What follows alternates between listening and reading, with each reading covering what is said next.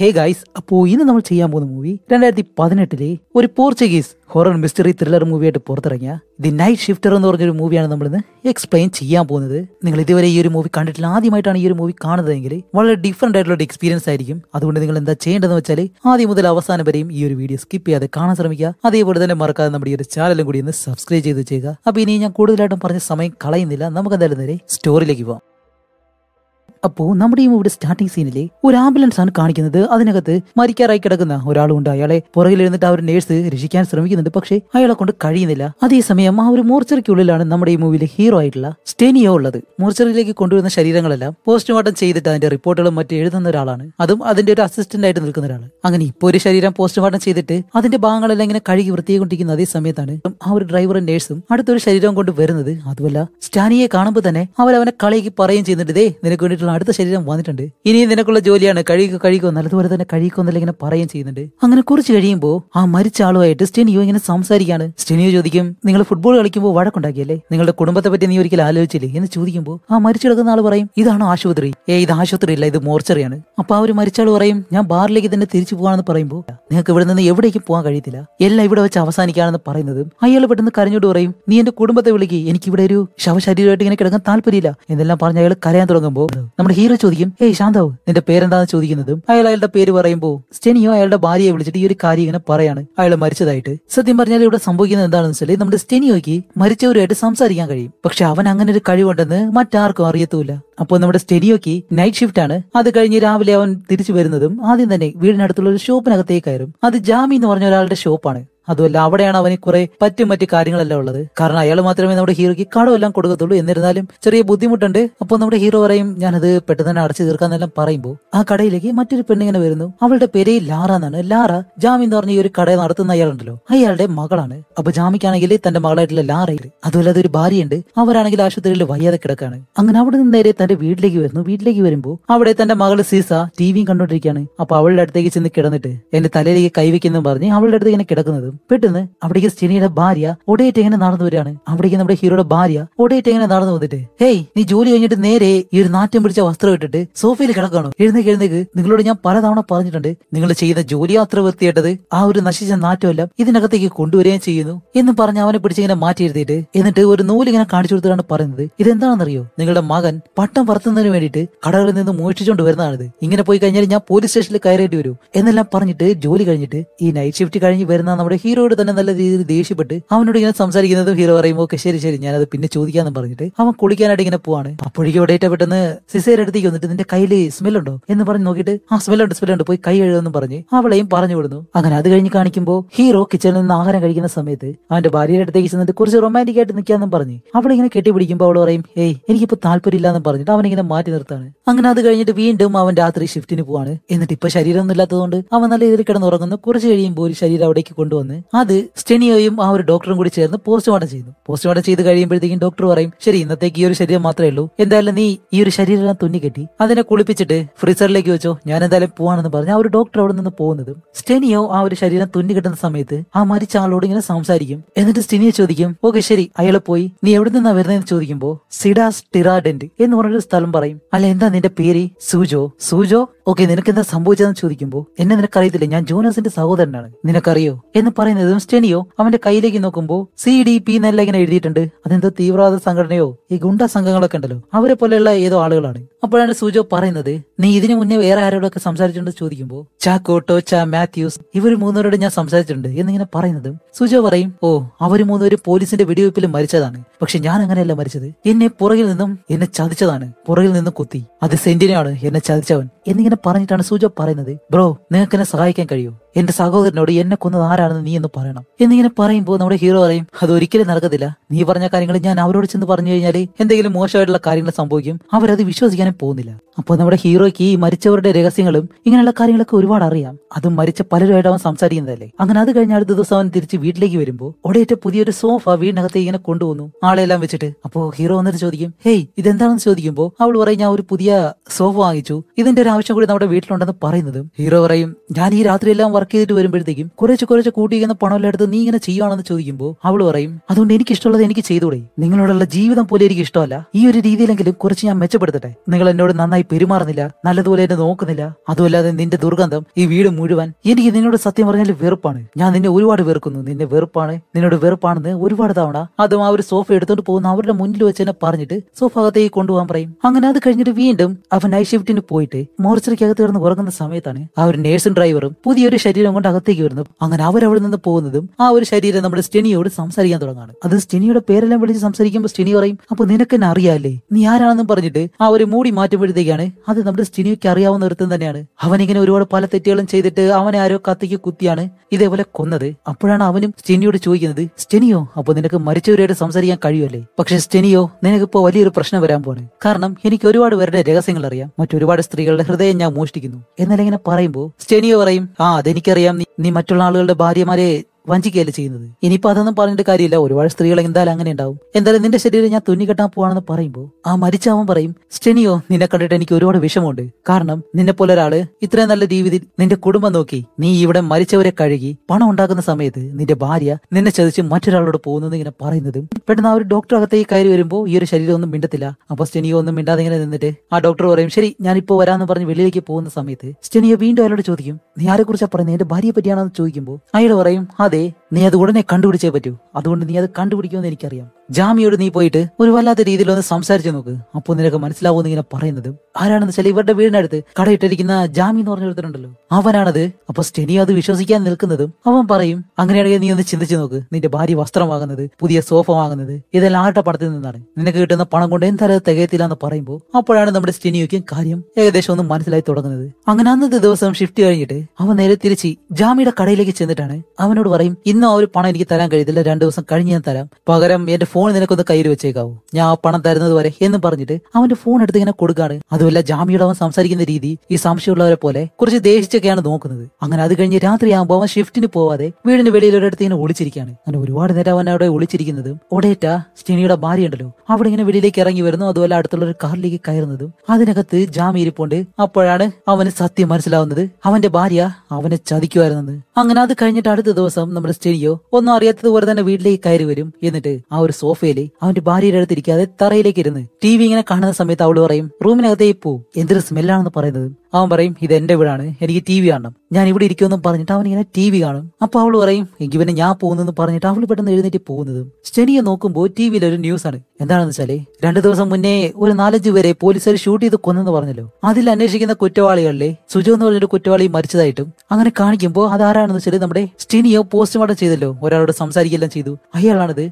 അതുമല്ലാതെ അന്ന് അയാൾ നമ്മുടെ ഹീറോയുടെ ഒരു കാര്യം പറയുന്നുണ്ട് എന്നെ കൊന്നത് ആരാണെന്ന്? നീ എന്റെ സഹോദരനോട് പോയി പറയണമെന്ന് ആ ഒരു കാര്യം നമ്മുടെ ഹീറോ അങ്ങനെ ആലോചിച്ച് നോക്കിയിട്ട് സുജയുടെ സഹോദരനെ കാണാനായിട്ട് അവനിങ്ങനെ പോവാണ്. അവന്റെ പേര് ജോനാസ് എന്നാണ്. അങ്ങനെ ജോനാസിനെ കാണാനായിട്ട് പോകുന്നതും അതേസമയം ഇവിടെ ജാമിന്റെ ഷോപ്പിൽ കാണിക്കുമ്പോൾ അവിടേക്ക് ഉടയേറ്റ അവളുടെ രണ്ട് കുട്ടികളായിട്ട് വന്ന് സാധനങ്ങളിൽ ഇങ്ങനെ വാങ്ങുന്ന സമയത്ത് അവനോട് പോയി ഇങ്ങനെ സംസാരിക്കും. അവന്റെ ഫോൺ നമ്പർ തരാൻ വേണ്ടിയിട്ടാണ് അവളിങ്ങനെ പറയുന്നത്. അവനെ വിളിക്കാൻ വേണ്ടിയിട്ട്. അതേസമയം തന്നെ ജാമിയുടെ മകൾ ലാർ അവിടേക്ക് വരുന്നതും ഇവരൊന്നും അറിയാത്തതുപോലെ നിൽക്കുമ്പോൾ ജാമിക്കാണെങ്കിൽ ഒടേറ്റയുടെ രണ്ട് മക്കളെ ഇഷ്ടമല്ല. അവരെന്തെങ്കിലും തൊട്ട് കഴിഞ്ഞാൽ അവരെ പെട്ടെന്ന് വഴക്ക് കുറയും അപ്പൊ നമ്മുടെ ലാർ അത് കണ്ടിട്ട് അവരുടെ അടുത്തേക്ക് ചെല്ലുന്നതും ഒടേറ്റ് എന്താ ചെയ്യുന്നത് വെച്ചാൽ നേരെ ലാറയുടെ അടുത്തേക്ക് വന്ന് ഹേയ് എന്റെ കുട്ടികളുടെ അടുത്തേക്ക് മാറി നിൽക്ക്. എന്നും പറഞ്ഞ് അവളെയും തള്ളി മാറ്റിയിട്ട് അവരെ വിളിച്ച് അവിടെ നിന്ന് പോവാണ്. അതേസമയം ഇവിടെ നമ്മുടെ ഹീറോ ജോനാസിനെ കണ്ടിട്ട് അവനോട് പറയും എനിക്ക് നിന്റെ സഹോദരനെ പറ്റി കുറച്ച് കാര്യങ്ങൾ പറയാനുണ്ട്. സുജോയെ കൊന്നത് ആരാണെന്ന് എനിക്കറിയാം എന്നിങ്ങനെ പറയുന്നത്. നിനക്കങ്ങനെ സുജയെ അറിയാം? മരിക്കുന്നതിന് മുന്നേ ഞാൻ അവനെ കണ്ടിരുന്നു. എന്നും പറഞ്ഞിട്ട് അവനെ കൊന്നത് ആരാണെന്ന് ഇങ്ങനെ പറഞ്ഞു കൊടുക്കാണ്. അതുമല്ലാതെ സുജയെ കൊന്നല്ലോ. അവന്റെ സുഹൃത്തൊരുത്തൻ ഇവിടെ അടുത്തൊരു ഷോപ്പ് നടത്തുന്നുണ്ട്. അവന്റെ പേര് ജാമി എന്നാണ്. അവർ രണ്ടുപേരും സുഹൃത്തുക്കളാണ്. അവർ രണ്ടുപേരും കൂടി ചേർന്നിട്ടാണ് നിന്റെ സഹോദരനെ കൊന്നതെന്ന് ഇങ്ങനെ പറഞ്ഞു കൊടുക്കും. എന്താണെന്ന് വെച്ചാൽ അവന്റെ ഭാര്യയായിട്ട് അവിഹിതമുള്ള ജാമി എന്ന് പറഞ്ഞ അവനെ കൊല്ലാൻ വേണ്ടിയിട്ട് സുജു എന്ന് പറഞ്ഞ് മരിച്ച ഒരാൾ പറഞ്ഞ ഒരു കാര്യമുണ്ടല്ലോ. അത് ഒരു കള്ള കഥയാക്കി മാറ്റി ജോനാസിനോട് ഇങ്ങനെ പറയും. അപ്പൊ ജോനാസ് പറയും നീ വെറുതെ പറയാണെന്ന് ചോദിക്കുമ്പോൾ ജോനാസും സുജോയും കൂടി ചേർന്നിട്ട് അവരുടെ അച്ഛനെ കൊന്ന ആ ഒരു കാര്യം ആ ഒരു കാര്യം ഇവനോട് പറയുമ്പോഴത്തേക്കാണ് സ്റ്റെനിയോ പറയുന്ന കാര്യങ്ങളെല്ലാം ജോനാസിന്റെ വിശ്വാസമാവുന്നത്. അങ്ങനെ ജോനാസ് പറയും ശരി അങ്ങനെയാണെങ്കിൽ അവന്റെ കാര്യം ഞാൻ നോക്കിക്കൊള്ളാം എന്നും പറഞ്ഞിട്ട് നമ്മുടെ ഹീറോ അവിടെ നിന്ന് പറഞ്ഞു വിടുന്നു. അതേസമയം ഒടേറ്റയും ജാമി ഇപ്പോ രാത്രി ആയതുകൊണ്ട് തന്നെ അവർ രണ്ടുപേരും ഇപ്പൊ ഒരുമിച്ചിരിക്കുകയാണ്. അതേസമയം ഇവിടെ സ്റ്റെനിയെ കാണിക്കുമ്പോൾ അവൻ കാർലോ എന്ന് പറഞ്ഞിട്ട് ഇന്നലെ നമ്മൾ സ്റ്റെനിയോട് അവന്റെ ഭാര്യയുടെ അവിഹിതത്തെ പറ്റിയെല്ലാം പറഞ്ഞല്ലോ. അവന്റെ ശരീരം ഇപ്പോ ശവപ്പെട്ടിക്കുള്ളിലേക്ക് ആക്കുന്ന സമയത്താണ് സ്റ്റെനിയോ അവനോട് അവനോട് ചോദിക്കുന്നത് കാർലോ എന്നോട് സംസാരിക്കാൻ പറയുമ്പോൾ അപ്പൊ കാർലോ അവനോട് പറയും സ്റ്റെനിയോ മരിച്ചവരുടെ രഹസ്യം ഒരു മരണ രഹസ്യമാണ്. അതൊരിക്കലും നീ മറ്റൊരാളോട് പറയരുത്. പക്ഷെ നീ അതങ്ങനെ ചെയ്തു. സൂജോ പറഞ്ഞ ആ ഒരു കാര്യം ജോനാസിനോട് നീ പോയി പറഞ്ഞില്ലേ? ഇപ്പൊ നീ അടയാളപ്പെടുത്തി സഹോദരാന്ന് ഇങ്ങനെ പറയുമ്പോൾ ജെനിയൊക്കെയൊന്നും മനസ്സിലാവുന്നില്ല. അടയാളപ്പെടുത്തി? എന്ത്? എന്ന് ചോദിക്കുന്നതും ആ ഒരു ഡോക്ടർ അകത്തേക്ക് കയറി വന്നിട്ട് പെട്ടെന്ന് ആ ഒരു ശവപ്പെട്ടി മൂടുകയും ചെയ്യുന്നു. മാർക്കോ എന്താണ് പറഞ്ഞതെന്ന് അവന് മനസ്സിലാവുന്നില്ല. അതേസമയം ഒടേറ്റയും ജാമിയെ കാണിക്കുമ്പോൾ അവരിപ്പോ തിരിച്ച് വീട്ടിലേക്ക് വരുന്ന സമയത്ത് ജോനാസ് പറഞ്ഞു വിട്ട ഒരുത്തൻ ഇവരോടൊപ്പം തന്നെ ഫോളോ ചെയ്ത് ഇങ്ങനെ വരുന്നുണ്ട്. അങ്ങനെ ഇവർ രണ്ടുപേരും നമ്മുടെ സ്റ്റെനിയുടെ വീടിന് മുന്നിൽ തന്നെ കാർ നിർത്തി ഉടേറ്റി ഇറക്കാനായിട്ട് വരുമ്പോൾ ജാമി അവളോട് പറയും എനിക്ക് തോന്നുന്നു സ്റ്റെനിയോയ്ക്ക് നമ്മളെ പറ്റിയുള്ള എല്ലാ കാര്യങ്ങളും അറിയാതെ അറിഞ്ഞിട്ടും അവൻ അറിയാത്തതുപോലെ ഇങ്ങനെ നടക്കാണ്. അവൻ എന്നോട് സംസാരിച്ച രീതി അത് കണ്ടപ്പോൾ തന്നെ എനിക്കത് മനസ്സിലായി. എന്നെല്ലാം പറയുമ്പോൾ അവൾ പറയും ഓ അതൊരിക്കലും ശരിയാവാൻ പാടില്ല. കാരണം എനിക്ക് അവനോടുള്ള ജീവിതം മടുത്തു എന്നെല്ലാം പറയുന്നതും പെട്ടെന്ന് ജോനാസും അവന്റെ ആളുകളും ജാമിയുടെ അടുത്തേക്ക് വന്നിട്ട് അവനെ കാറിൽ നിന്നും വലിച്ച് പുറത്തേക്ക് ഇറക്കും. എന്നിട്ട് അവനോട് പറയും നിന്നിപ്പോ എന്തിനാണ് പുറത്തേക്ക് ഇറക്കിയെന്ന് അറിയൂ? നിന്നെ കൊല്ലാൻ വേണ്ടിയിട്ട്. കാരണം എന്റെ സഹോദരനെ നീ കൊന്നതുകൊണ്ടെന്ന് പറയുന്നതും ജാമി ചോദിക്കും അല്ല നിങ്ങളുടെ സഹോദരൻ അതാരാണ് എനിക്കറിയത്തില്ല എന്ന് പറയുമ്പോ ഓ നിനക്ക് അറിയത്തില്ല എന്നും പറഞ്ഞ് അവനെ അങ്ങനെ പിടിച്ചിട്ട് എന്റെ സഹോദരൻ എങ്ങനെയാണോ മരിച്ചത്? അതുപോലെ തന്നെ നിന്നെ ഞാൻ കൊല്ലുമെന്ന് പറയുന്നതും ജാമി അപ്പോഴും പറയുന്നുണ്ട്. ഹലോ ഞാൻ ഒരു കാര്യം പറയട്ടെ? എനിക്ക് നിങ്ങളുടെ സഹോദരൻ ആരാണെന്ന് അറിയത്തില്ല. നിങ്ങൾക്ക് വേണമെങ്കിൽ എന്റെ കാർ എടുക്കാം. പക്ഷേ ഞാനൊന്നും ചെയ്തിട്ടില്ല എന്നെല്ലാം പറയുന്നതും ജോനസ് അതൊന്നും കേൾക്കാതെ നമ്മുടെ നമ്മുടെ സ്റ്റഡിയോ പറഞ്ഞല്ലോ ഇവനും കൂടി ചേർന്നിട്ടാണ് അവന്റെ സഹോദരനെ കൊന്നതെന്ന്. ആ ഒരു ദേഷ്യം കാരണം ജോനസിന്റെ കഴുത്ത് അവിടെ വെച്ച് തന്നെ അർത്ഥം കൊല്ലാണ്. അപ്പൊ ഇതെല്ലാം കണ്ട് നമ്മുടെ ഒടേറ്റ് പെട്ടെന്ന് കാറിൽ നിന്ന് പുറത്തേക്ക് ഇറങ്ങി അവിടെ നിന്ന് കരയുന്നതും അവർ പറയും ഓക്കെ ശരി ബാ നമുക്ക് പോവാന്ന് പറഞ്ഞ് നിൽക്കുമ്പോൾ ഒടേറ്റെ സത്യം പറഞ്ഞാൽ ഇവർക്ക് കൊല്ലാനായിട്ട് പ്ലാൻ ഇല്ലായിരുന്നു. പക്ഷെ എവിടെ ഏറ്റപ്പെട്ടെന്ന് ജോൻസനെ നോക്കിയിട്ട് പറയും എനിക്ക് നിങ്ങളെല്ലാവരും അറിയാം. ഞാൻ പോലീസിൽ പോയി പറയും നിങ്ങൾ എല്ലാവരെയും പോലീസ് വന്ന് പിടിക്കും. നിങ്ങൾ എല്ലാവരെയും കൊണ്ടുപോകുന്നെല്ലാം പറയുന്നതും ജോനസ് പറയും വാ വാ ബാ നമുക്ക് എല്ലാവർക്കും പോവാന്ന് പറഞ്ഞിട്ട് അവളെ വലിയ കാര്യമൊക്കെ ഉണ്ടെന്നും പറഞ്ഞ് അവിടെ നിന്ന് പോകാനായിട്ട് വരുമ്പോൾ അവന്റെ കൂടെയുള്ള ഒരുത്തൻ പെട്ടെന്ന് നമ്മുടെ ഒടേറ്റയുടെ താലിലേക്ക് ഷൂട്ട് ചെയ്ത് അവളെയും കൊല്ലുകയാണ് സ്റ്റെനിയെ ഒരിക്കലും പ്രതീക്ഷിക്കില്ല. ജമീലോടൊപ്പം ഒടേറ്റ പോവുമെന്ന് അതുമല്ല ഒരു കാര്യം കൂടിയുണ്ട്. ഇവർ രണ്ടുപേരും നിരപരാധികളും കൂടിയാണ്. അങ്ങനെയുള്ളവരെയാണ് നമ്മൾ സ്റ്റെനിയോ കൊല്ലാനായിട്ട് പറഞ്ഞതും. അതേസമയം സ്റ്റെനിയെ കാണിക്കുമ്പോൾ അവനിപ്പോ മോർച്ചറിക്കകത്ത് നിന്നിട്ട് വർക്കെല്ലാം കഴിഞ്ഞ് ഒരു ശരീരം ഫ്രീസറിനകത്തേക്ക് കയറ്റി വെക്കുന്നതും അവൻ കുറച്ച് മാറി നിൽക്കുമ്പോൾ പെട്ടെന്ന് ആ ഒരു ഫ്രീസർ തുറന്നിട്ട് ആ ഒരു ശരീരം പുറത്തേക്ക് വന്ന് അവനെ തന്നെ ഇങ്ങനെ നോക്കിയിരിക്കുന്നു. അവൻ എന്താണ് കാരണമെന്ന് അറിയത്തില്ല. അങ്ങനെ അത് കഴിഞ്ഞ് അടുത്ത ദിവസം അവൻ വീട്ടിലേക്ക് വരുന്ന സമയത്താണ് ഇവരുടെ വീടിന് മുന്നിലെ ജാമിയും ഒടേറ്റയും മരിച്ചു കിടക്കുന്ന അവൻ കാണുന്നത്. ജാമി മരിക്കണമെന്നാണ് അവൻ പ്രതീക്ഷിച്ചത്. പക്ഷെ ഒടേറ്റ മരിക്കുമെന്ന് അവൻ ഒരിക്കലും പ്രതീക്ഷിച്ചിരുന്നില്ല. അങ്ങനെ അവൻ വന്ന് ഒടേറ്റയുടെ ശരീരത്തിൽ പിടിച്ചിട്ട് ആരാ നിന്നോട് ഇത് ചെയ്തതെന്ന് ചോദിക്കുമ്പോൾ ഒടേറ്റ ഇപ്പോ ഒന്നും മിണ്ടുന്നില്ല. അതേസമയം അവന്റെ മകൻ ഇങ്ങനെ വെളിയിലേക്ക് ഇറങ്ങി വരുന്നതും അവൻ പെട്ടെന്ന് ഓടിച്ചെന്ന് അവനെ പിടിച്ച് അകത്തേക്ക് ഇങ്ങനെ കൊണ്ടുപോവാണ്. അങ്ങനെ അത് കഴിഞ്ഞ് കാണിക്കുമ്പോൾ ഒഡേറ്റയുടെ ശരീരം ഇപ്പൊ പോസ്റ്റ്മോർട്ടം ചെയ്യുന്നത് സ്റ്റിനിയോ തന്നെയാണ്. അപ്പോഴാണ് ഒഡേറ്റ അവനോട് സംസാരിക്കുന്നതും അവളപ്പോ ചോദിക്കും അപ്പോൾ നിനക്ക് മരിച്ചവരുമായിട്ട് സംസാരിക്കാൻ കഴിയും? ഇത്രയും കാലം നീ അത് ചെയ്യുമായിരുന്നു എന്നോട് പോലും അത് പറയാതെ എന്ന് അവളിങ്ങനെ ചോദിക്കും. എന്നിട്ട് ഒഡേറ്റ ചോദിക്കും കുട്ടികൾക്ക് എന്നെ പറ്റി എന്തെങ്കിലും അറിയോ? എന്ന് ചോദിക്കുമ്പോൾ അവനൊന്നും മിണ്ടത്തില്ല. അപ്പോൾ പറയും ഇത് നോക്ക് സ്റ്റെനിയോ ജാമി എന്നെ പറ്റിയുള്ള കാര്യങ്ങൾ നിന്നോട് പറയാനായിട്ട് ഞാൻ വരുമായിരുന്നു എന്ന് പറയുന്നത് അവൻ പറയും പക്ഷെ അതിനേക്കാൾ മുന്നേ തന്നെ ഞാൻ അത് അറിഞ്ഞിരുന്നു. പക്ഷെ ഒരിക്കലും നിന്നെ പോലെ ഞാൻ മരിക്കില്ല. എന്താണെന്ന് വെച്ചാൽ ഉടയേറ്റ? സെക്സ് വർക്ക് എന്നുള്ള രീതിയിൽ ഒരുപാട് കാര്യങ്ങൾ ചെയ്യുമായിരുന്നു അതുകൊണ്ട് തന്നെ സ്റ്റെനിയോ പറയും നീ മരിച്ചു കിടന്നപ്പോൾ സത്യം പറഞ്ഞാൽ അവസാനമായിട്ട് എനിക്ക് ചിരിയാണ് വന്നത്. സത്യം പറഞ്ഞാലേ നീ മരിക്കണമെന്ന് ഞാൻ ഒരിക്കലും വിചാരിച്ചിരുന്നില്ല. ജാമ്യ മുകളിലേക്ക് പറഞ്ഞു വിട്ടത് ഞാൻ തന്നെയാണ് എന്നിങ്ങനെ പറയുമ്പോഴത്തേക്കാണ് ഓടേറ്റ ചോദിക്കുന്നത് സ്റ്റെനിയോ അപ്പൊ നീയും ഇതിന്റെ ഭാഗമായിരുന്നല്ലേ? എന്നിങ്ങനെ പറയുന്നതും ഓടേറ്റയ്ക്കും അത്രയും ദേഷ്യമായി. എന്നിട്ട് അവൾ പറയും നിനക്ക് എത്ര ധൈര്യം ഉണ്ടെങ്കിൽ നീ ഇങ്ങനെ ചെയ്യും. നിന്റെ കുട്ടികൾ അമ്മയില്ലാതെ വളരാനാണോ നിനക്ക് ആഗ്രഹം? ഈ ഒരു സത്യം അവരറിഞ്ഞു കഴിഞ്ഞാൽ അവർ നിന്നോട് ഒരിക്കലും ക്ഷമിക്കില്ല. അതേപോലെ ഞാനും നിന്നോട് ഒരിക്കലും ക്ഷമിക്കില്ല എന്ന് അവളിങ്ങനെ പറയും. അപ്പോഴാണ് സ്റ്റെനിയോ പറയുന്നത് പക്ഷെ ഞാൻ നിന്നോട് ക്ഷമിച്ചിരിക്കുന്നു. എന്നും പറഞ്ഞ് അവരുടെ ഒരു വിവാഹ മോതിരമുണ്ട്. അതെടുത്തിട്ട് അവളുടെ വിരലിലേക്ക് ഇങ്ങനെ ഇട്ട് കൊടുക്കണം. അപ്പോൾ പറയുന്നത് ഇല്ല അത് ചെയ്യരുതെന്ന് പറയുന്നുണ്ടെങ്കിലും അവൻ അതേപോലെ ചെയ്തിട്ട് പെട്ടെന്ന് അവിടെ നിന്നെങ്കിൽ ഇറങ്ങിപ്പോവും. അങ്ങനെ അതെല്ലാം കഴിഞ്ഞിട്ട് ഒരുപാട് ദിവസം കഴിയുമ്പോൾ ഒടേറ്റ് വാങ്ങിച്ച ആ ഒരു വലിയ സോഫ ഉണ്ടല്ലോ അത് വെളിയിലേക്ക് കൊണ്ടുവന്നിട്ട് അത് അടിച്ചിങ്ങനെ നശിപ്പിക്കുകയാണ്. എന്നിട്ട് നേരെ എഡ്സന്റെ അടുത്തേക്ക് വന്നിട്ട് അവനോട് പറയും നിന്റെ അമ്മ പറഞ്ഞതുപോലെ നീ വെളിയിൽ പോയി ഓരോ കാര്യങ്ങളെല്ലാം മോഷിച്ച് അവസാനം ഒരു കുറ്റവാളിയാവാനാണോ നീ ആഗ്രഹിക്കുന്നത്? എന്നെല്ലാം ചോദിച്ച് അവൻ ഇങ്ങനെ വഴക്ക് പറയുന്നു. അങ്ങനെ അത് കഴിഞ്ഞ് ഒരുപാട് ദിവസങ്ങൾക്ക് ശേഷം നമ്മുടെ സ്റ്റെനിയെയും അതേപോലെ തന്നെ അവന്റെ കൂടെയുള്ള ഒരു ഡോക്ടർ ഉണ്ടല്ലോ. ഇവരെ രണ്ടുപേരെയും പോലീസ് ഒരു കാടിനകത്തേക്ക് ഇങ്ങനെ അങ്ങനെ അവിടെ ചെന്നിട്ട് എന്താണ് കാര്യം എന്ന് നോക്കുമ്പോൾ ഒഡേറ്റനെ ജാമിനെയും കൊന്ന ജോനസും അതേപോലെ തന്നെ അവനോടൊപ്പമുള്ള മറ്റൊരുത്തനുണ്ടല്ലോ. ഇവർ രണ്ടുപേരും ആ കാടിനകത്ത് മരിച്ചു കിടക്കുന്നു. അതുമല്ല ഇവർ മരിച്ചിട്ട് ഇപ്പൊ ഒരുപാട് ദിവസമായി. അങ്ങനെ ഇവർ രണ്ടുപേരും അവരുടെ ശരീരം പരിശോധിക്കാൻ വേണ്ടിയിട്ട് അവിടേക്ക് വന്ന് മാസ്ക് എല്ലാം ഇട്ടിട്ട് ഇവരുടെ ശരീരം കീറി മുറിച്ച് നോക്കുമ്പോൾ ശരീരത്തിനുള്ളിലെ ഹൃദയം ഉണ്ടല്ലോ അതിൽ നല്ലൊരു മുറിവ് സംഭവിച്ചിട്ടുണ്ട്. അപ്പൊ ഒരു ഡോക്ടർ പറയും ഏതെങ്കിലും മൃഗം ഉപദ്രവിച്ചതായിരിക്കാം. അല്ലാന്നുണ്ടെങ്കിൽ വേറെ എന്തെങ്കിലും. അപ്പോ സ്റ്റെനിയ പറയും ചിലപ്പോൾ അങ്ങനെ ആയിരിക്കാം എന്ന് പറയുന്ന ആ ഡോക്ടർ പറയും. പക്ഷെ അതൊരിക്കലും ശരിയാവത്തില്ല. കാരണം ഒരു മൃഗ അറ്റാക്ക് ചെയ്തതാണെങ്കിൽ ആ മുറിവിന്റെ പാട് ഹൃദയത്തിനുള്ളിൽ മാത്രമേ സംഭവിച്ചിട്ടുള്ളൂ. അവന്റെ ശരീരഭാഗത്ത് എവിടെയും അതുപോലെ ഒരു പാട് കണ്ടിട്ടില്ല. എന്നിങ്ങനെ പറയുന്നതും മരിച്ച ജോനസ് പെട്ടെന്ന് സ്റ്റെനിയോട് സംസാരിക്കാണ്. ഞങ്ങളെ കൊന്നത് ആരാണെന്നറിയോ? ആ ഒരു പെണ്ണാണ്. പക്ഷെ ഞങ്ങളെ രണ്ടുപേരെ അല്ല കൊല്ലാൻ ശ്രമിച്ചത്. മൂന്നുപേരെ അതിലൊന്നാമനാവാൻ നീയും കാത്തിരുന്നു. നീ കാരണം രണ്ട് നിരപരാധികളെ ഞങ്ങൾ കൊന്നു. അതുകൊണ്ട് അവളുടെ പിശാജി ഇപ്പോ നല്ല ഉഗ്രമായിട്ട് തിരിച്ചു വന്നിരിക്കുകയാണ്. എന്നിങ്ങനെ ഇങ്ങനെ പറയുന്നതും സ്റ്റെനിയോ നല്ല രീതിയിൽ പേടിച്ചു പോയി അതുമല്ലാതെ അടുത്തിടക്കുന്ന അവന്റെ വായ ഇങ്ങനെ പെട്ടെന്ന് തുറക്കുന്നതും അതിനകത്ത് നിന്ന് കത്രിക വെച്ച് എന്തോ ഇങ്ങനെ എടുക്കും. പുറത്തേക്ക് എടുക്കുമ്പോൾ അതൊരു പേപ്പറാണ് അതിനകത്ത് എഴുതിയിരിക്കുന്നത് എഡ്സൺ സീസ എന്താണെന്ന് വെച്ചാൽ നമ്മുടെ സ്റ്റെനിയോടെ രണ്ട് കുട്ടികളുടെ പേര്.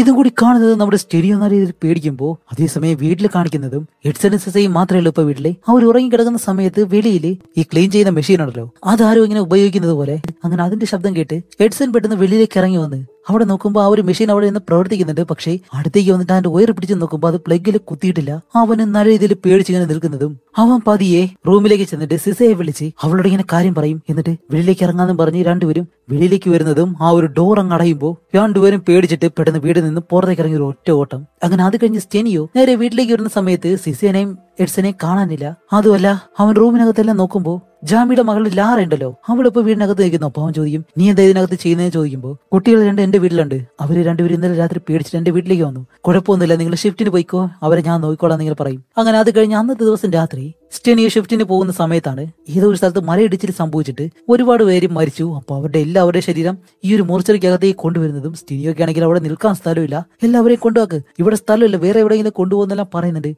അങ്ങനെ അവരുടെ ശരീരം എല്ലാം അകത്തേക്ക് കൊണ്ടുവയ്ക്കുന്ന സമയത്ത് അവരെല്ലാവരും നമ്മുടെ സ്റ്റിനിയോട് സംസാരിക്കുന്നു. സ്റ്റിനിയോ എന്റെ അടുത്തേക്ക് വാ എന്റെ അടുത്തേക്ക് വന്നെല്ലാം പറഞ്ഞിട്ട് അവനോട് ഇങ്ങനെ സംസാരിക്കുന്നതും അവനാണെങ്കിൽ അത് കേട്ട് സഹായിക്കാൻ കഴിയുന്നില്ല. അങ്ങനെ അതെല്ലാം കഴിഞ്ഞിട്ട് ഇപ്പോൾ രാത്രിയാവുന്നതും അവൻ ഈ ശരീരങ്ങളെല്ലാം വെച്ചിട്ട് മോർച്ചയിൽ കിടന്നിങ്ങനെ ഉറങ്ങാണ്. അതുമല്ല ഒരുപാട് രാത്രിയായിട്ട് അവൻ പെട്ടെന്ന് കണ്ണു തുറക്കുമ്പോൾ ഇപ്പൊ അവനുള്ളത് ആ മോർച്ചറിക്കകത്തെ ഫ്രീസറിനകത്ത് അവനെ ആര് പിടിച്ച് അകത്തിട്ടെന്ന് അവൻ ഇപ്പോഴും അറിയത്തില്ല. അങ്ങനെ അവൻ തുറക്കാൻ വേണ്ടിയിട്ട് കിടന്ന് ബഹളം വെക്കുന്നതും ആ ഡ്രൈവർ നേഴ്സ് പെട്ടെന്ന് അകത്തേക്ക് വന്നിട്ട് എങ്ങനെയെങ്കിലും അത് വലിച്ച് പുറത്തേക്കിട്ട് അവൻ എങ്ങനെയെങ്കിലും രക്ഷിക്കുകയും ചെയ്യുന്നു. അങ്ങനെ അത് കഴിഞ്ഞ് അവൻ നേരെ വീട്ടിലേക്ക് വരുമ്പോൾ അവനിപ്പോ പേടിച്ചിട്ട് നല്ല രീതിയിൽ പനിയായി. അതുമല്ലാതെ ലാറ വീടിനകത്ത് വന്നിട്ട് അവനോട് പറയും കുട്ടികൾ വീട്ടിൽ തന്നെയുണ്ട് നിങ്ങൾ റെസ്റ്റ് എടുത്തോ. അവരെ ഞാൻ നോക്കിക്കോളാം എന്ന് പറയുമ്പോൾ ജാമ്യയുടെ മകളായതുകൊണ്ട് അവന് ലാറയുടെ ചെറിയ ദേഷ്യമുണ്ട്. അപ്പൊ അവൻ പറയും ഏയ് അതിന്റെ ആവശ്യമൊന്നുമില്ല എന്ന് പറയുന്നതും. അവൾ പറയും എന്റെ അച്ഛൻ മരിച്ചതിന് ശേഷമാണ് എനിക്ക് മനസ്സിലായത്. ഞങ്ങൾക്ക് കുറെ കട ഉണ്ടെന്ന് അത് വീട്ടാനായിട്ട് ആ ഒരു കട എനിക്ക് എന്തായാലും വിൽക്കേണ്ടി വരും. അതുമല്ലാതെ ഉടനെ തന്നെ എന്റെ വീട് നഷ്ടപ്പെടുമെന്ന് എനിക്കറിയാം. എന്ന് പറഞ്ഞിട്ട് അവളിങ്ങനെ ഇരിക്കുമ്പോൾ അവൻ ഇത്തിരി സഹതാപം തോന്നിയിട്ട് അവൻ പറയും ശരി അങ്ങനെയാണെങ്കിൽ കുട്ടികളെ നീ തന്നെ നോക്കിക്കോ എന്ന് പറയുന്നതും. രാത്രി ആകുമ്പോഴത്തേക്കും നമ്മുടെ സ്റ്റീനിയോ ഷിഫ്റ്റിന് പോവും. അതേസമയം വീട്ടിലെ ലാറയും കുട്ടികളും മാത്രമേ ഉള്ളൂ. അങ്ങനെ അവിടെ കിടന്ന് ഉറങ്ങുന്ന സമയത്താണ് ടി വി ഓൺ ചെയ്ത് വെച്ചിട്ടുണ്ട്. അതിന്റെ ശബ്ദം ഇങ്ങനെ കേൾക്കുന്നുണ്ട്. അതേപോലെ തന്നെ ആരോ ഇങ്ങനെ ഇട്ട് ഇടിക്കുന്നൊരു ശബ്ദം അവൾ പതിയെ എഴുന്നേറ്റ് വന്ന് നോക്കുമ്പോൾ അത് സിസയാണ്. അവളാണെങ്കിൽ തല കൊണ്ടുവന്ന് ഭിത്തിയിൽ ഇങ്ങനെ ഇടിച്ചുകൊണ്ടേയിരിക്കുന്നു. ലാറ വന്ന് അവളെ പിടിച്ച് മാറ്റുന്നതും അവളുടെ കയ്യിൽ ഒരു ലിപ്സ്റ്റിക് ഇരിപ്പുണ്ട്. അങ്ങനെ അതും വാങ്ങി അവളെ എടുത്ത് കട്ടിലേക്ക് കൊണ്ട് കിടത്തി അവൾ ആ ഒരു മുറിയിലേക്ക് വീണ്ടും വന്നിട്ട് അവിടെ ഇങ്ങനെ നോക്കുമ്പോൾ അതിന് മുകളിലുണ്ടല്ലോ സീലിംഗിൽ. എനിക്ക് നിന്നെ വെറുപ്പാണെന്ന് ഇങ്ങനെ എഴുതി വെച്ചേക്കുന്നു. അത് കേൾക്കുന്ന അവൾ പേടിച്ചു. സത്യം പറയുന്നത് അത് ടി വിയിലായിരുന്നു. അതേസമയം നമ്മുടെ ഹീറോയുടെ അടുത്ത് കാണിക്കുമ്പോൾ ഇപ്പൊ ഇവരുടെ മോർച്ചറിക്കകത്തേക്ക് വെട്ടി ഞുറുക്കിയ കുറച്ച് ശരീരഭാഗങ്ങൾ ഇങ്ങനെ കൊണ്ടുവന്നിട്ടുണ്ട്. പോലീസിനെ കിട്ടുന്ന സമയത്ത് ഇത് ഇങ്ങനെയാണ് കൊണ്ടുവന്നിട്ടുള്ളത് എന്ന് പറഞ്ഞിട്ട് അങ്ങനെ ഒരു ഡോക്ടർ വന്നിട്ട് ശരീരം എല്ലാം പോസ്റ്റ്മോർട്ടം ചെയ്യാനായിട്ട് ഇങ്ങനെ എടുക്കുന്ന സമയത്താണ് ഈ മുതുക് ഭാഗം ഉണ്ടല്ലോ ആ ഒരു ഭാഗത്തെ നട്ടൽ കാണാനില്ല. ആ നട്ടൽ ആരോ ഊരിയെടുത്തിരിക്കുന്നു. അപ്പൊ ആംബുലൻസ് ഡ്രൈവറോടും ആ ഒരു നേഴ്സിനോട് ചോദിക്കും അല്ല ഈ ഒരു നട്ടലെവിടെ അതെവിടെ നിങ്ങൾ ചോദിക്കുമ്പോൾ അവർ പറയും ഇല്ല ഡോക്ടർ ഞങ്ങൾ എടുത്തുകൊണ്ട് വരുന്ന സമയത്ത് തന്നെ ഇങ്ങനെയൊന്നും കുഴപ്പമൊന്നും ഇല്ലായിരുന്നു എല്ലാം ഓക്കെ ആയിരുന്നു എന്നെല്ലാം പറയുന്നതും നമ്മുടെ ഹീറോയോട് ചോദിക്കുമ്പോൾ അവനും പെട്ടെന്ന് ക്യാമറ എടുത്തിട്ട് എന്റെ കയ്യിൽ തെളിവുണ്ട്. ഇതിനകത്തേക്ക് കൊണ്ടുവന്ന സമയത്ത് എല്ലാം ക്ലിയർ ആയിരുന്നു. പക്ഷെ പിന്നീട് ആരാണ് എടുത്തോണ്ട് പോയെന്ന് എനിക്ക് അറിയത്തില്ല എന്ന് പറയുമ്പോൾ ആ ഒരു ഡോക്ടർ നമ്മുടെ ഹീറോയോട് പറയും സ്റ്റെനിയോ നിന്റെ ഉത്തരവാദിത്തത്തിലാണ് ഇതെല്ലാം ചെയ്യേണ്ടത്. അതുകൊണ്ട് പോലീസ് വന്ന് ചോദ്യം ചെയ്തു കഴിഞ്ഞാൽ എനിക്കധികം പറയാനൊന്നും കഴിയത്തില്ല എന്നിങ്ങനെ പറയും. അങ്ങനെ ഇത് കഴിഞ്ഞിട്ട് നമ്മുടെ സ്റ്റെനിയോ നേരെ വീട്ടിലേക്ക് വരുന്ന സമയത്താണ് ഇന്നലെ രാത്രി സിസ ആ ഒരു ലിപ്സ്റ്റിക് വെച്ചിട്ട് എന്തോ ഒരു കാര്യം വരച്ചല്ലോ? ആ ഒരു കാര്യത്തെ പറ്റി അങ്ങനെ സ്റ്റെനി അകത്തേക്ക് വന്ന് നോക്കുമ്പോൾ ഈ ഒരു സീലിംഗിൽ വരച്ചു വെച്ചിരിക്കുന്ന കാണുമ്പോഴത്തേക്കാണ് സ്റ്റെനി പറയുന്നത് ഒരു ചെറിയ കുട്ടിയെ കൊണ്ട് എന്തായാലും ഇത് കയ്യെത്തി വരയ്ക്കാൻ കഴിയത്തില്ല. ഇത് വേറെ എന്തോ സംഭവിച്ചാണെന്നും പറഞ്ഞ് അവളെ പറഞ്ഞു വിട്ടിട്ട് അങ്ങനെ അവളെ വിട്ടിട്ട് സ്റ്റെനിയോ അവിടെ ഇങ്ങനെ നിൽക്കുന്നതും. ഇതിന് മുന്നേ ഒരു സീൻ ഉണ്ടായിരുന്നു. ആ ഒരു കാര്യം ഞാൻ പറയാൻ വിട്ടുപോയതാണ്. അവൻ ആ ഒരു ഫ്രീസറിനുള്ളിൽ പെട്ടിട്ട് താഴേക്ക് വന്ന് വീഴുന്ന സമയത്ത് അവന്റെ വായിൽ നിന്നും ഒടേറ്റിയുടെ കയ്യിൽ അവൻ ഇട്ട് കൊടുക്കുന്ന ഒരു മോതിരം ഉണ്ടല്ലോ. ആ ഒരു മോതിരം അവന്റെ വായിൽ നിന്നും താഴേക്ക് വീഴുമായിരുന്നു ആ ഒരു മോതിരം ഇപ്പൊ അവന്റെ ബാഗിലുണ്ട്. അതെടുത്തിട്ട് അവൻ ദൂരേക്ക് ഒരു ഒറ്റ ഇയർ അപ്പോഴേക്കും സിസ പെട്ടെന്ന് പുറകിൽ വരുന്നത് ഹേയ് മോളെ എന്തെങ്കിലും കഴിച്ചു എന്ന് പറഞ്ഞിട്ട് അവളകത്തേക്ക് കൊണ്ടുപോയി. അടുത്തതായിട്ട് നമ്മുടെ ഹീറോ പോകുന്നത് ഒടേറ്റിയുടെ കല്ലറ അടുത്തേക്കാണ്. എന്തിനാണെന്ന് വെച്ചാൽ അവളുടെ കയ്യിലിട്ട് കൊടുത്തായിരുന്ന മോതിരം അതാണല്ലോ നേരത്തെ അവ എടുത്ത് വലിച്ചെറിഞ്ഞത്. ആ ഒരു മോതിരം അവളുടെ കയ്യിലുണ്ടോ ഇല്ലയോ എന്ന് അറിയാൻ വേണ്ടിയിട്ടാണ് അവൻ ആ ഒരു കല്ലറയുടെ അടുത്തേക്ക് ചെല്ലുന്നത് എന്നിട്ട് അവിടെ ഉള്ള ഒരു സെക്യൂരിറ്റിയോട് ചോദിക്കും എന്റെ ഭാര്യ മരിക്കുന്ന സമയത്ത് അവളെ അടക്കം ചെയ്യുന്നതിന് മുന്നേ ഞാൻ അവളുടെ കയ്യിൽ ഒരു മോതിരം ഇട്ട് കൊടുത്തിരുന്നു. പക്ഷെ ഇപ്പൊ നോക്കുമ്പോൾ അതെന്റെ വീടിന്റെ മുറ്റത്ത് കിടന്ന് എനിക്ക് കിട്ടി. അത് അവളുടെ കയ്യിലുണ്ടോ ഇല്ലയെന്ന് എനിക്കറിയണം. ഒരുപക്ഷെ അത് കള്ളന്മാരാരെങ്കിലും എടുക്കാനായിട്ട് ശ്രമിച്ചോ അങ്ങനെ വേറെ എന്തെങ്കിലും പോയോ ഇല്ലയെന്ന് എനിക്കറിയണം. അതുകൊണ്ട് കല്ലറ തുറക്കാനായിട്ട് എന്നെ സഹായിക്കാമെന്ന് ചോദിക്കുമ്പോൾ അയാൾ പറയും സ്റ്റെനിയോ ഇതൊന്നും ശരിയായിട്ടുള്ള കാര്യമല്ല. ഇങ്ങനെ ഇത് ചെയ്തൂടാ. ഇതൊക്കെ നിയമവിരുദ്ധമാണ്. അതുകൊണ്ട് ഞാൻ എന്തായാലും ചെയ്തില്ല എന്ന് പറയുമ്പോൾ അവൻ ഇങ്ങനെ കുറച്ചു നേരം വിഷമിച്ചിരുന്നിട്ട് എന്റെ ഭാര്യയുടെ കാര്യമല്ലേ? എന്നെല്ലാം പറയുന്ന സമയത്ത് അയാൾ പറയും ഓക്കെ ശരി രാത്രി ഇവിടെ മറ്റൊരു ചടങ്ങ് നടക്കുന്നുണ്ട്. ആ ഒരു സമയത്ത് നിനക്ക് വേണമെങ്കിൽ ഒറ്റയ്ക്ക് വന്ന് ഈ ഒരു കല്ലറ തുറക്കാം. ഞാൻ അതിൽ സഹായിക്കത്തില്ല. പക്ഷെ അവരുടെ ശ്രദ്ധ തിരിക്കുന്ന കാര്യം ഞാൻ നോക്കിക്കോളാം ഇങ്ങനെ പറയുമ്പോൾ അന്ന് രാത്രി ആവുന്നതും നമ്മുടെ സ്റ്റെനി എന്താ ചെയ്യുന്ന വെച്ചാൽ ആ ഒരു കല്ലറ അങ്ങനെ തുറന്നിട്ട് അവളുടെ ശവപ്പെട്ടി എടുത്ത് എത്തുന്നതും അത് തുറന്ന് ഒടേറ്റിയെ നോക്കുമ്പോൾ അവളുടെ ശരീരം എങ്ങനെ കിടക്കുന്നു? അത് കുറച്ച് അഴുകിയിട്ടാണ് കിടക്കുന്നത്.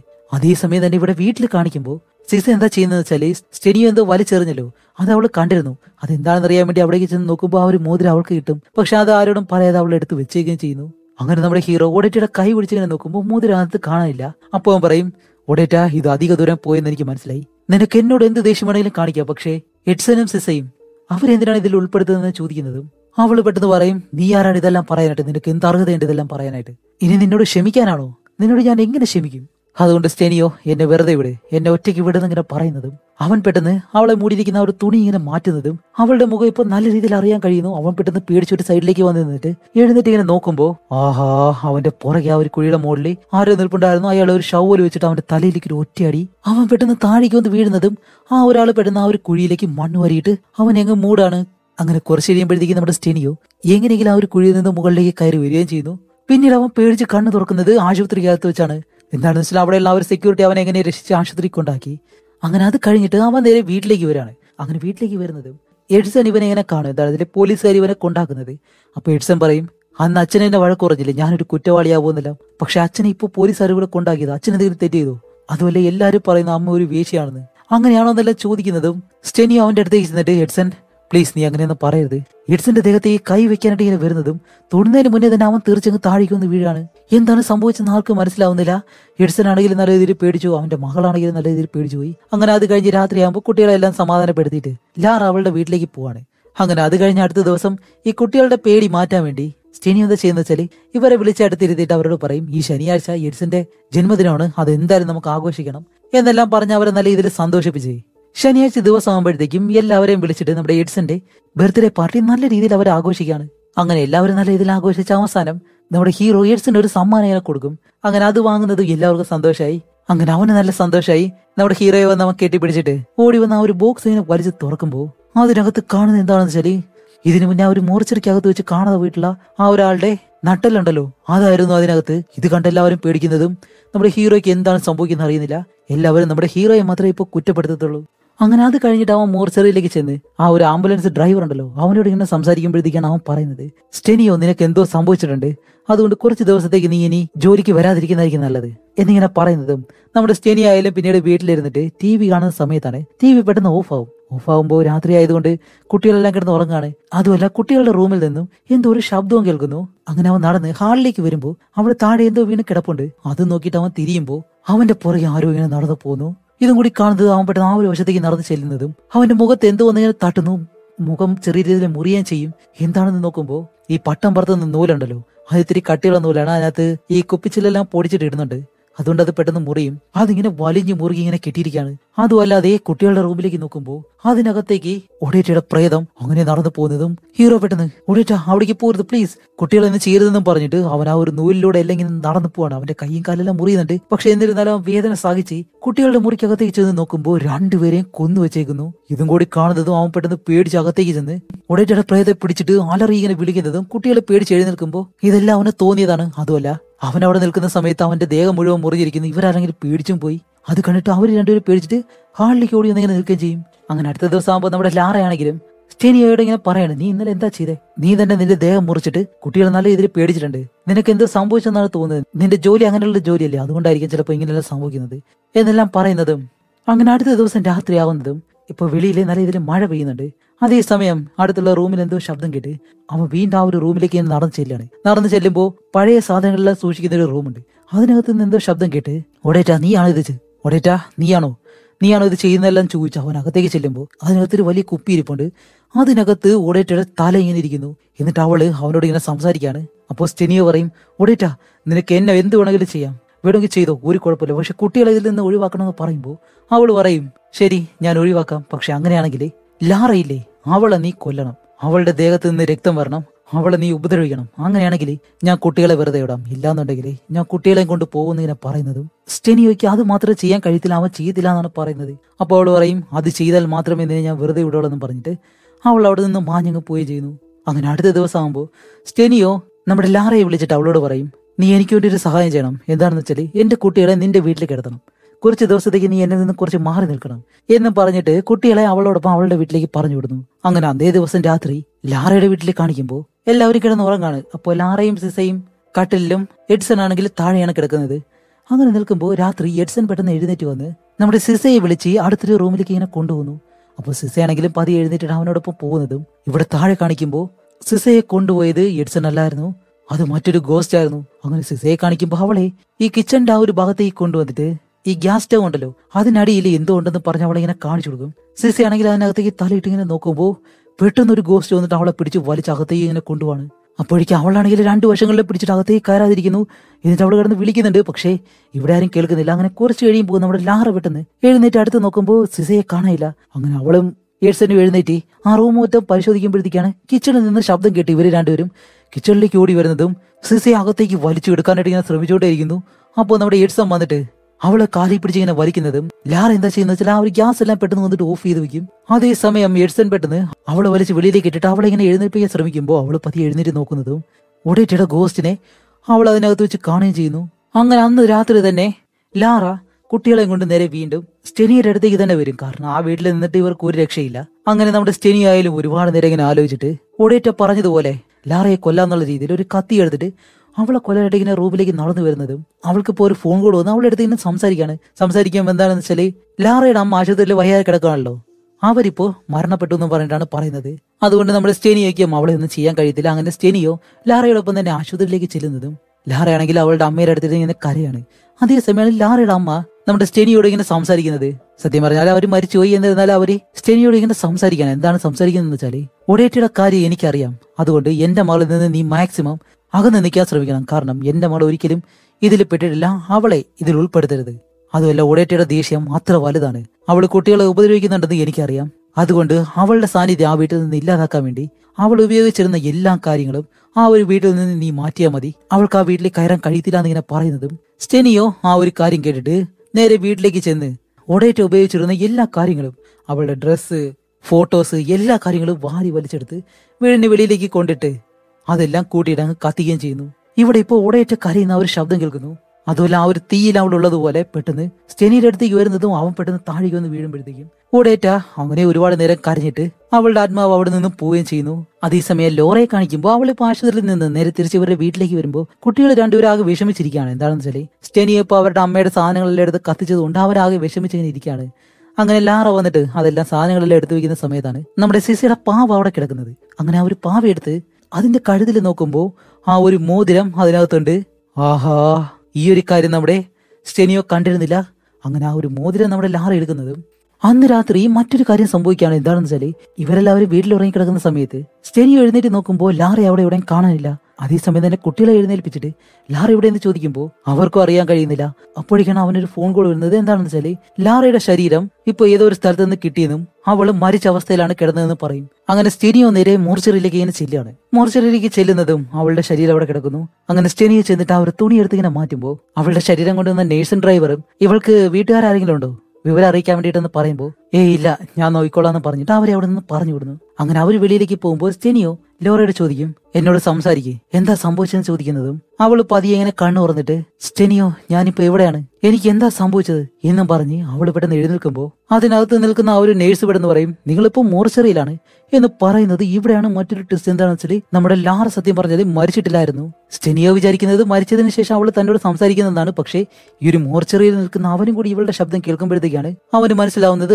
മരിച്ചിട്ടില്ലാന്ന്. അങ്ങനെ അവൾ പെട്ടെന്ന് പേടിച്ച് കരയുന്നതും കുറച്ച് കഴിയുമ്പോഴത്തേക്ക് അവളുടെ ബോധവും പോകുന്നു. അപ്പോഴാണ് സെനിയെ ചോദിക്കുന്നത് ഹേയ് നിങ്ങൾ ഇവിടെ കൊണ്ടുവരുമ്പോഴത്തേക്ക് നിങ്ങൾ ചെക്ക് ചെയ്തില്ലായിരുന്നു? എന്ന് ചോദിക്കുമ്പോൾ അവർ പറയും അതെ ഞങ്ങൾ ചെക്ക് ചെയ്തിരുന്നു. ചെക്ക് ചെയ്തപ്പോ ഹാർട്ട് ബീറ്റ് ഇല്ലാതെ അതുമല്ലാതെ അവളുടെ ശരീരം നല്ല രീതിയിൽ തണുത്തുറഞ്ഞു. അവൾ മരിച്ച അവസ്ഥയിൽ തന്നെയായിരുന്നു. എന്നെല്ലാം പറയുമ്പോഴത്തേക്കാണ് ആ ഒരു ഡോക്ടർ പെട്ടെന്ന് പറയുന്നത് സ്റ്റെനിയോ ആ ഒരു പെൺകുട്ടിക്ക് കാറ്റലപ്സി ഉണ്ടായിരുന്നു. അതുകൊണ്ടാണ് ആ ഒരു അവസ്ഥയിലായി പോയത് അതുകൊണ്ട് ഇനി എന്തായാലും അവളെ ഒന്ന് സൂക്ഷിച്ചാൽ മതിയെന്നും പറഞ്ഞിട്ട് സ്റ്റെനിയോടൊപ്പം പറഞ്ഞു വിടുകയും ചെയ്യും. അങ്ങനെ അത് കഴിഞ്ഞ അടുത്ത ദിവസം സ്റ്റെനിയോ മോർച്ചറിൽ നിന്ന് തന്റെ ജോലി ചെയ്തുകൊണ്ട് നിൽക്കുന്ന സമയത്ത് ലാറ ഇങ്ങനെ വിളിക്കും. ലാറ വിളിച്ചിട്ട് പറയും സ്റ്റെനിയോ എത്രയും പെട്ടെന്ന് വീട്ടിലേക്ക് വാ. എന്ന് പറഞ്ഞ് അവളിങ്ങനെ കരയുമ്പോൾ സ്റ്റെനിയോ പറയും ഓക്കെ ശരി ലാറ ഞാൻ ഇപ്പൊ തന്നെ വരാന്ന് പറഞ്ഞിട്ട് അവൻ നേരെ വീട്ടിലേക്ക് ചെല്ലുന്നതും അവൾ ടി വിയിൽ റൊമാന്റിക് ആയിട്ടുള്ള എന്തോ ഒരു വീഡിയോ കണ്ടിട്ടിരിക്കായിരുന്നു. അതുമല്ല അവൻ ചെല്ലുന്നതും പെട്ടെന്ന് അവനോടും കുറച്ച് റൊമാന്റിക് ആയിട്ട് ഇരുന്നിട്ട് അവനെ വിളിച്ച് റൂമിലേക്ക് പോകും അങ്ങനെ റൂമിലേക്ക് ചെന്ന് കുറച്ച് നേരം റൊമാന്റിക് ആയിട്ട് ഇരിക്കുന്ന സമയത്താണ് അവളൊരു വല്ലാത്ത രീതിയിൽ ഇങ്ങനെ പെരുമാറുന്നതും അവൻ അങ്ങനെ ശ്രദ്ധിച്ചു നോക്കുമ്പോൾ സത്യം പറഞ്ഞാൽ ലാറയുടെ ശരീരത്തിൽ ഒടേറ്റയുടെ പ്രേതം കയറിയിരുന്നു. കാരണം അവളുടെ മോതിര ഇതിന് മുന്നേ ലാറ എടുത്ത് വെച്ചിരുന്നല്ലോ. അത് ധരിച്ചതുകൊണ്ടാണ് അവളുടെ ശരീരത്ത് ഒടേറ്റയുടെ പ്രേതം കയറിയത്.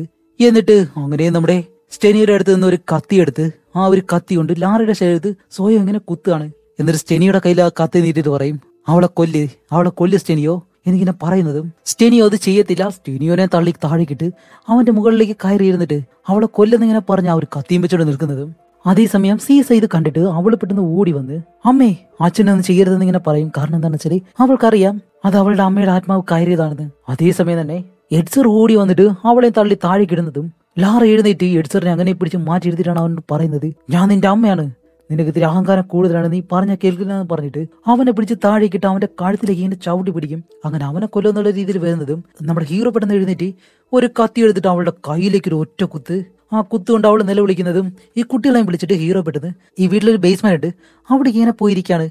അങ്ങനെ അവിടേക്ക് പോയിരുന്നിട്ട് എഡ്സറിനോട് പറയുന്നുണ്ട് അത് നിന്റെ അമ്മയാണ്. അവളുടെ ശരീരത്തിൽ കയറിയതാണ്. എന്നിങ്ങനെ പറയുമ്പോൾ അവൻ പറയും ഇല്ലച്ചാ അച്ഛ കള്ളം പറയാണ്. അത് ലാറയാണ് അവൾ എന്തിനാ ഇങ്ങനെ ഉപദ്രവിക്കുന്നത് ചോദിക്കുന്നത്? ലാറ പെട്ടെന്ന് ആ ഒരു ഡോറും ചവിടി തുറന്ന്. അതിനകത്തേക്ക് കയറി വരും. എന്നിട്ട് താഴേക്ക് ഇറങ്ങി വരുമ്പോൾ നമ്മുടെ ഹീറോ ചോദിക്കുന്നുണ്ട് ഓടേറ്റാ നമ്മുടെ കുട്ടികൾ അവരെന്ന് ചെയ്തെന്ന് പറയുമ്പോൾ ഇന്ന് കുട്ടികൾ അമ്മയോടൊപ്പമാണ് നിൽക്കാൻ പോകുന്നത് എന്നും പറഞ്ഞിട്ട് ആ കത്തിയെടുത്ത് അവരെ കുത്താനായിട്ട് വരുന്നതും നമ്മുടെ ഹീറോ ഒന്ന് തടയുമ്പോൾ ഹീറോയെ കുത്താൻ വരുന്നു. അങ്ങനെ ഹീറോ ഇവിടുന്ന് അവളുടെ കയ്യിലേക്ക് ആ ഒരു കത്തിയിലേക്കും കയറി പിടിക്കുന്നതും അപ്പോഴാണ് അവൻ കാണുന്നത് അവളുടെ കയ്യിൽ ആ ഒരു മോതിരമുള്ള കാര്യം. അത് കാണുന്നതും അവൻ പെട്ടെന്ന് അവളുടെ തലയിലേക്ക് ഒരു ഒറ്റയിടി എങ്ങനെ രണ്ടു മൂന്ന് ഇരി ഇടിച്ച് അവളെ താഴെയിട്ടിട്ട് അവളുടെ മുകളിലേക്ക് കയറി ഇരുന്നിട്ട് ആ ഒരു മോതിര വിരലുണ്ടല്ലോ അതിങ്ങനെ ഓടിച്ച് ആ ഒരു മോതിരം വലിച്ചു വരുന്നതും അപ്പോഴാണ് നമ്മുടെ ലാറയുടെ ശരീരത്തിൽ നിന്ന് ആ ഒരു പ്രേതം തന്നെ പുറത്തേക്ക് പോകുന്നതും അങ്ങനെ ഇവർ മൂന്നുപേരും മറ്റിടത്തേക്ക് ഇരിക്കുമ്പോൾ ലാറയ്ക്കൊന്നും മനസ്സിലാവുന്നില്ല.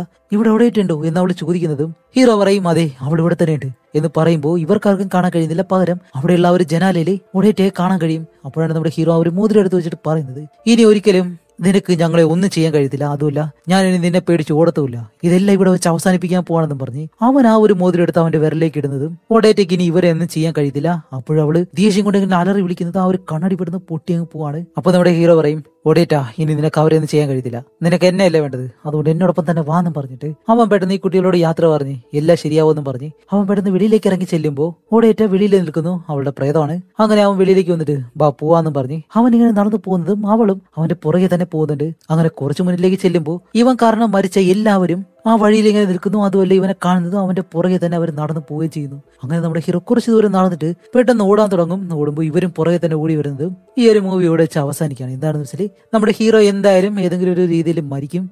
അങ്ങനെ മരിച്ചു കഴിഞ്ഞാൽ ഇവരുടെ എല്ലാവരുടെയും പ്രേതങ്ങൾ ഇവിടെ വിട്ട് പോകത്തുള്ളൂ. കാരണം അവനോടുള്ള ഒരു പ്രതികാരം തീർക്കാൻ വേണ്ടിയിട്ടാണ് അവരെല്ലാവരും നിൽക്കുന്നത്. അങ്ങനെ അതോടെ ഈ ഒരു മൂവി ഇവിടെ വെച്ച് അവസാനിക്കുകയാണ്. അപ്പൊ എങ്ങനെ ഉണ്ടായിരുന്നു? ഇൻട്രസ്റ്റിംഗ് ആയിട്ട് ഒരു മൂവി ആയിട്ട് നിങ്ങൾക്ക് തോന്നിയിട്ടുണ്ടെങ്കിൽ നിങ്ങളുടെ അഭിപ്രായം തീർച്ചയായിട്ടും കമന്റ് ചെയ്യുക. അപ്പൊ ഇതുപോലെ ഇൻട്രസ്റ്റിംഗ് ആയിട്ടുള്ള മറ്റൊരു മൂവി ആയിട്ട് വരുന്നതായിരിക്കും ബൈ